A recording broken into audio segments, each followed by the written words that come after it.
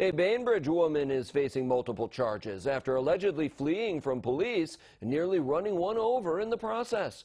New York State Police say that last Friday at 10:30 a.m. they were interviewing 35-year-old Jovan Best about a violation of an order of protection when she ran into her garage, got into a vehicle and began erratically backing out.